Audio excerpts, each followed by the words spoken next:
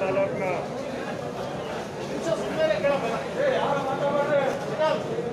ಹಿರಿಯ ಮುಖಂಡರಾದಂಥ D V Jayachandra ಸಾಹೇಬರ ಮುಂದಾಳತ್ವದಲ್ಲಿ ಏನು ಈ ದಿನ ಕೋವಿಡ್ನ ವಾರಿಯರ್ಸ್ ಅಂತ ಏನು ಹೇಳ್ತೀವಿ ಐದು ಸ್ಟೇಷನ್ ಅಧಿಕಾರಿಗಳಿರ್ಬೋದು ಮತ್ತು ನಮ್ಮ ಹೋಮ್ ಸಮೀಪ ಒಂದು ನಲವತ್ತು, ಐವತ್ತು ಜನಕ್ಕಿಂತ ಇಲ್ಲ. ಮೂರು.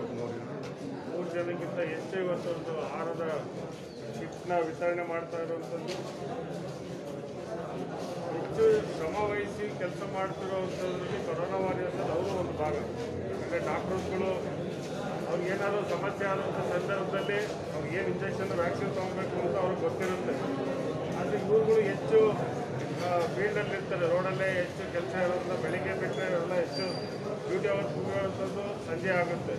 ಸೊ ಏನಾದರೂ ಸಮಸ್ಯೆ ಅಂತ ಆದರೆ ಇವ್ರಿಗೆ, ಇವರೇ ವೈಯಕ್ತಿಕವಾಗಿ ಏನಾದರೂ ತೊಗೊಬೇಕೇ ಬಿಟ್ಟರೆ ಬೇರೆ ಯಾವ ರೀತಿ ನಮಗೆ ಏನು ತೊಗೊಬೇಕು ಅನ್ನೋದು ಅರಿವುಗಳು ಇವ್ರಿಗೆಲ್ಲ ಕಡಿಮೆ. ಅದರಿಂದ ಇಂಥವ್ರಿಗೆ ನಾವು ಪಕ್ಷದ ವತಿಯಿಂದ ಮತ್ತು ಸನ್ಮಾನ್ಯ ಜಯಚಂದ್ರ ಸಾಹೇಬರು ಅವರ ನೇತೃತ್ವದಲ್ಲಿ ಇವತ್ತು ಬಿಸ್ಕಿಟ್ ಕೊಡ್ತಾ ಇರುವಂಥದ್ದು ಒಳ್ಳೆ ಕಾರ್ಯಾಚರಣೆ ಸಂದರ್ಭದಲ್ಲಿ.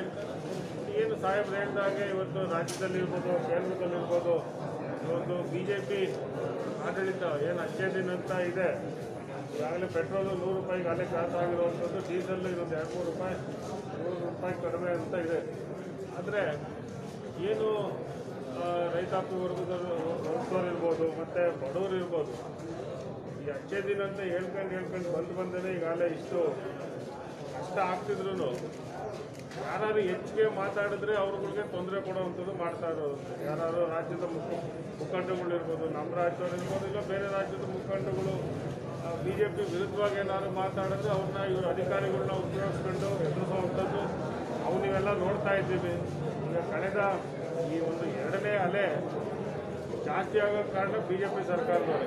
ಯಾಕಂದರೆ ಅವ್ರಿಗೆ ರಾಜ್ಯದ ಐದು ರಾಜ್ಯದ ಪಂಚರಾಜ್ಯದ ಚುನಾವಣೆ ಮೇಲೆ ಹೆಚ್ಚು ಕಣ್ಣಿತ್ತು. ಬೆಂಗಾಲ್ ಇರ್ಬೋದು, ಕೇರಳ, ತಮಿಳುನಾಡು ಅಸ್ಸಾಮು ಈ ರಾಜ್ಯಗಳ ಚುನಾವಣೆ ಮೇಲೆ ಅವ್ರಿಗೆ ಹೆಚ್ಚು ಆಸಕ್ತಿ ಇರೋದ್ರಿಂದ ಎರಡನೇ ಅಲೆ ತಡೆಯೋದಕ್ಕೆ ಏನು ಪ್ರೈಮರಿ ಮೆಷರ್ಸ್ ತಗೊಬೇಕು ಅದನ್ನು ರಾಷ್ಟ್ರದ ಪ್ರಧಾನಮಂತ್ರಿಗಳು ಇರ್ಬೋದು, ಮತ್ತು ಯಾವ್ಯಾವ ರಾಜ್ಯದ ಬಿ ಜೆ ಪಿ ಸರ್ಕಾರದ ಮುಖ್ಯಮಂತ್ರಿಗಳಿದ್ದಾರೆ ಯಾರೂ ಅದಕ್ಕೆ ಹೆಚ್ಚು ತಕರಾರು ಎತ್ತದಲ್ಲೇ ಅವರೆಲ್ಲ ಚುನಾವಣೆ ಪ್ರಚಾರಕ್ಕೆ ನಿಂತ ಸಂದರ್ಭದಲ್ಲಿ ಇವತ್ತು ನಮ್ಮ ರಾಷ್ಟ್ರದಲ್ಲಿ ಇಷ್ಟು ಸಾವು ನೋವುಗಳನ್ನ ಆಗ್ತಾ ಇರುವಂಥದ್ದು. ಮತ್ತು ಈಗಾಗಲೇ ಮೂರನೇ ಅಲೆ ಹೆಚ್ಚು ಭೀಕರವಾಗಿರುತ್ತೆ, ಮಕ್ಕಳ ಮೇಲೆ ಬರುತ್ತೆ ಅನ್ನೋದನ್ನು ನಾವು ಪತ್ರಿಕಾ ಮುಖಾಂತರ ಮತ್ತು ಎಲ್ಲ ಡಾಕ್ಟರ್ಗಳು ಹೇಳೋ ರೀತಿ ನಾವು ಕೇಳ್ತಾ ಇದ್ದೀವಿ.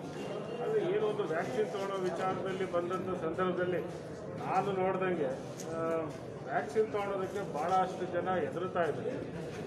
ಹಳ್ಳಿಗಾಡದಲ್ಲಿ ಇರ್ಬೋದು ಕಾಲೋನಿಗಳಲ್ಲಿ ಇರ್ಬೋದು ಬೇರೆ ಬೇರೆ ಕಡೆ ಊರೂರೇ ಎಷ್ಟೋ ಕಡೆ ತಗೊಂಡಿಲ್ಲ. ನಾನು ನಮ್ಮ ಭಾಗದಲ್ಲಿ ನೋಡಿದೆ ಮಧುಗಿರಿಯಲ್ಲಿ ನೋಡೋ ಜೊತೆಯಾಗಿ ನಮ್ಮ ತುಮಕೂರು ತಾಲೂಕಿನಲ್ಲೂ ನೋಡ್ತಾ ಇದ್ದೀನಿ, ಕೊಟ್ಟಿಗೆರೆಯಲ್ಲೂ ನೋಡಿದ್ರೆ ಹೆಚ್ಚು ಜನ ವ್ಯಾಕ್ಸಿನ್ನ ತೊಗೊಳೋದಕ್ಕೆ ಅವರೆಲ್ಲ ಹೆದರ್ತಾ ಇದ್ದಾರೆ. ಅದರಿಂದ ನಾನು ನಿಮ್ಮ ಮುಖಾಂತರ ಕೇಳ್ಕೊಳ್ಳೋವಂಥದ್ದು ವ್ಯಾಕ್ಸಿನ್ ತೊಗೊಳೋದ್ರಿಂದ ಹಾನಿಯನ್ನು ಮನುಷ್ಯನ ಪ್ರಾಣಕ್ಕೆ ಹಾನಿಯನ್ನು ಆಗೋದಿಲ್ಲ. ಅದರಿಂದ ಹೆಚ್ಚು ಜನ ಇದಕ್ಕೆ ವ್ಯಾಕ್ಸಿನ್ ತಗೋಬೇಕು ಮತ್ತು ಆ ಭಾಗದ ಏನು ಯುವಕರು ಇರ್ತಾರೆ, ಆ ಯುವಕರು ಇದನ್ನ ಜವಾಬ್ದಾರಿ ತಗೋಬೇಕು.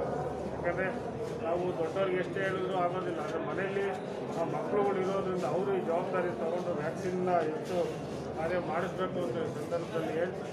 ಮತ್ತು ಈ ತಾಲೂಕಿನಲ್ಲಿ ಹೆಚ್ಚು ಸನ್ಮಾನ್ಯ ಯಶೇಂದ್ರ ತಯಾರಿಸುವ ಮುಖಾಂತರ ನಾನು ಆ್ಯಂಬುಲೆನ್ಸ್ ಕೊಟ್ಟಿದ್ದಾರೆ ಮಾಸ್ಕ್ಗಳು ಕೊಟ್ಟಿರುವಂಥದ್ದು ಸಿಲಿಂಡರ್ಗಳು ಗ್ಯಾಸ್, ಆಕ್ಸಿಜನ್ ಸಿಲಿಂಡರ್ ಕೊಟ್ಟಿರುವಂಥದ್ದು, ಮತ್ತು ರೇಷನ್ ಕಿಟ್ಗಳನ್ನ ಹೆಚ್ಚು ಅವರು ಕೊಡ್ತಾ ಇರೋದ್ರಿಂದ, ಆ, ಮುಂದಿನ ದಿನಗಳಲ್ಲಿ ಈ ತಾಲೂಕಿನ ಜನತೆಯನ್ನು ಅವರ ಪರವಾಗಿ ಇರ್ತಾರೆ ಅಂತ ಸಂದರ್ಭದಲ್ಲಿ ನಾನು ಹೇಳೋಕ್ಕೆ